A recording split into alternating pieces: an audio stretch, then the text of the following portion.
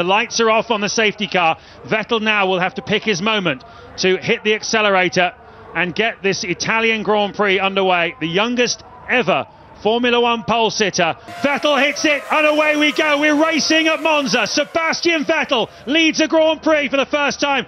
Certainly, the heavier the rain, it would appear to favour Sebastian Vettel. He's driving beautifully at the front. He's just set his fastest first sector of the race so far, and he's uh, simply driving away. The race leader pits. So what are they going to put on? The the, the uh, cover said wet.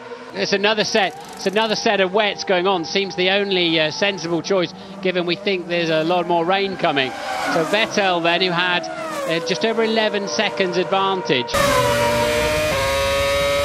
Here we go with the race leader.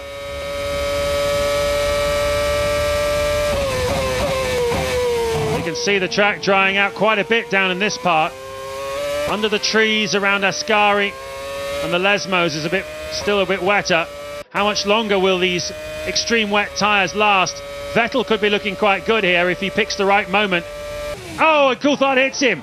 Bits of debris everywhere. Possible debris. Possible debris in the last corner.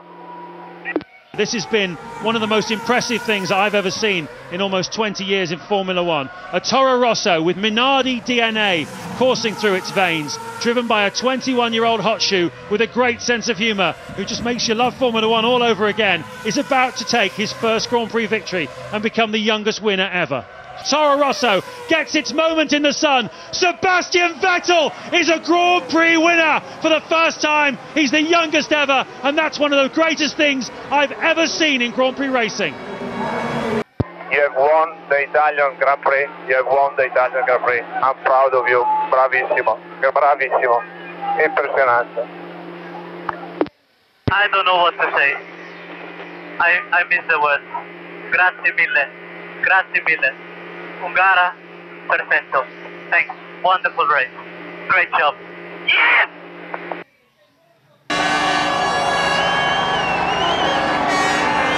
We have a new winner in Formula One, and his name is Sebastian Vettel.